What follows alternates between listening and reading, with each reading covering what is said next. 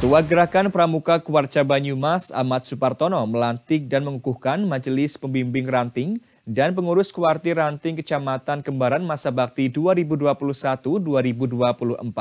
Pelantikan tersebut bertempat di Aula Kantor Kecamatan Kembaran Kabupaten Banyumas pada Jumat 3 Desember 2021.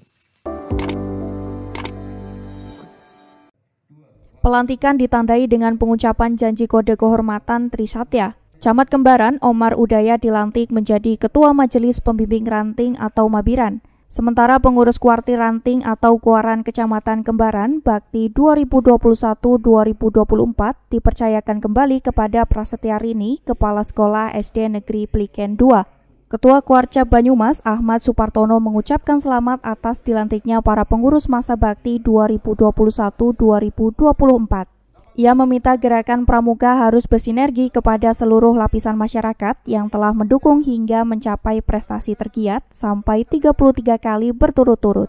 Depan dari Kemaran, uh, kami untuk khususnya untuk generasi muda di di Kuaran Kemaran khususnya ini kami ingin memajukan apalagi tadi sudah disampaikan oleh Kak Wacap bahwa adanya gudeg teritorial insya Allah dari Kuaran Kemaran nanti kami uh, berusaha untuk mewujudkan gudeg teritorial seperti harapan dari Kak Wacap untuk gudeg-gudeg yang lain uh, harapan dari kami ini dimulai dari untuk melihat yang kemarin itu beberapa dari gudeg di Kemaran empat gudeg itu sudah masuk tiga besar.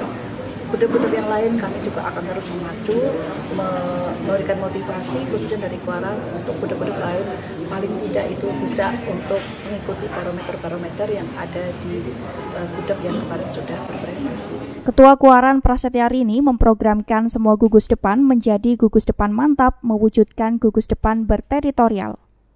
Dari Banyumas, Tim Liputan, Satelit TV, mewartakan.